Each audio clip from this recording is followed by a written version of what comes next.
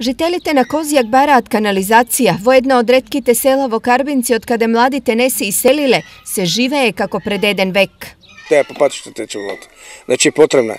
А тече тука од крави, од оно друго, нема кај да се то да се спроведе водата едноставно. По, по улиците оде, а тоа не е хигиенски први прво.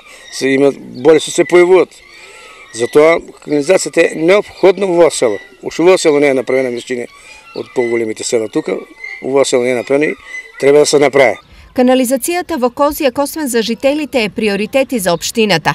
Очекуваме проектната документација да биде готова до крајот на овој месец, така да во јуни месец очекуваме дека ќе излезе јавниот повик од владата за нови средства и таму ќе аплицираме и се надеваме дека ќе ни одобрат да да изградиме канализацијата во село Којсак.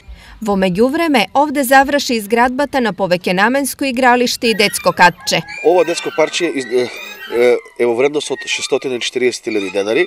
Парите се обезбедени од Агенцијата за рурален развој по мерката 322. За повеќенаменското игралиште е 700.000 денари и тие пари се обезбедени од општината од буџетот на општина Карвенци.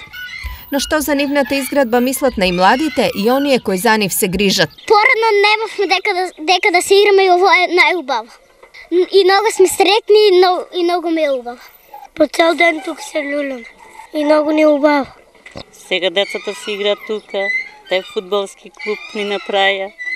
Порано ги мислевме по улиците, сега ги знаеме дека тука си играат. Има каде си, имат забава.